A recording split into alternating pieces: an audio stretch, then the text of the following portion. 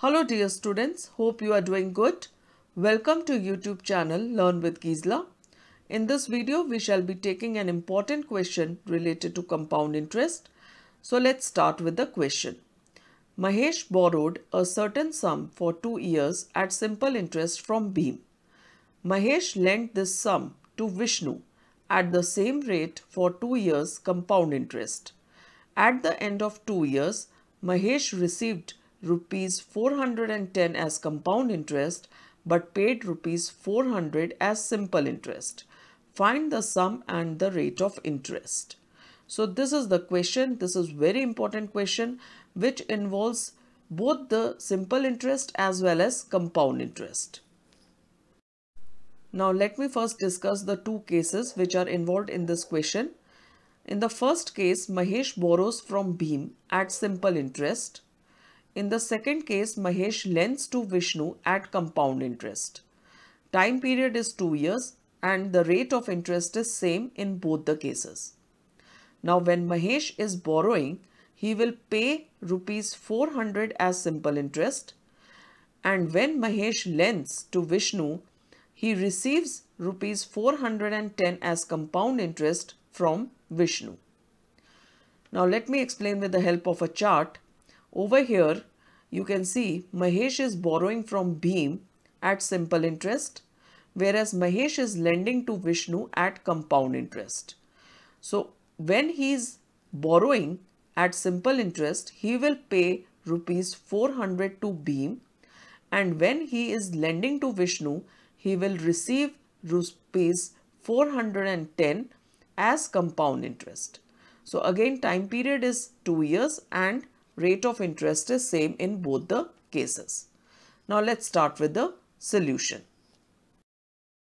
In the first case, Mahesh borrows from Bhim at simple interest and pays rupees 400 for 2 years.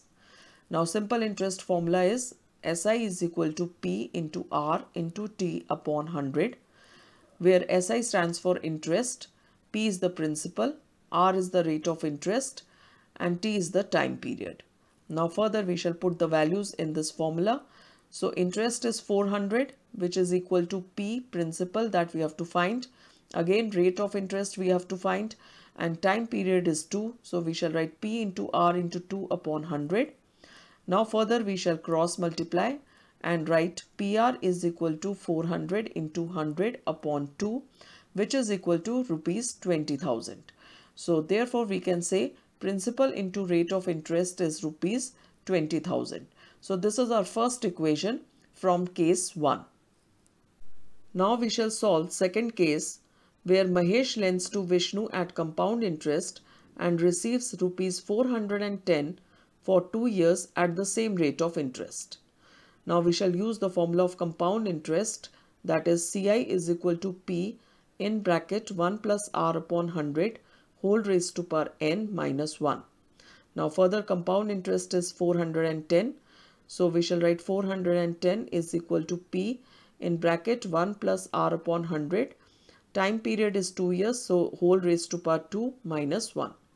Now to solve the bracket we shall be using identity 1 that is a plus b whole square is equal to a square plus 2ab plus b square. So accordingly we will expand the bracket. So we shall write 410 is equal to p in bracket 1 plus r square upon 10,000 plus 2 into r by 100 minus 1. Now further 1 and minus 1 will stand cancel and we can take r by 100 common outside.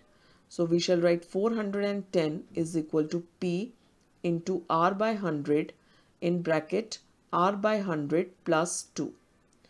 Now further we can write it 410 is equal to pr upon 100 because p into r by 100 is pr upon 100 in bracket r upon 100 plus 2.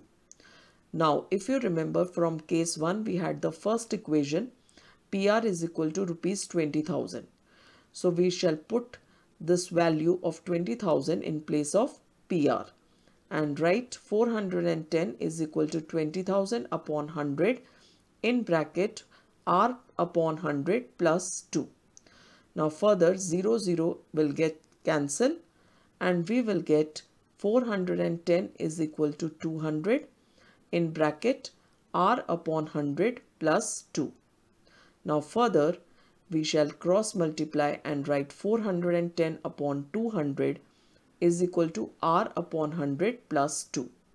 Now we can take 2 on the other side and write 410 upon 200 minus 2 is equal to r upon 100. Now take LCM. So 410 minus 400 upon 200 is equal to r by 100. 410 minus 400 is 10 so 10 upon 200 is equal to R upon 100. Further cross multiply and write R is equal to 10 into 100 upon 200 is equal to 5% per annum. So rate of interest is coming 5% per annum. Now according to the first equation we had PR is equal to rupees 20,000.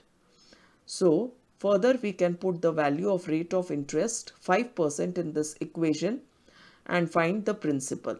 So we can write P into 5 is equal to 20,000.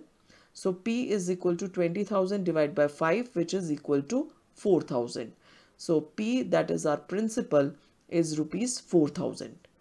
So in this question we have calculated the rate of interest as 5% and principal as 4,000. So hope you have understood this question.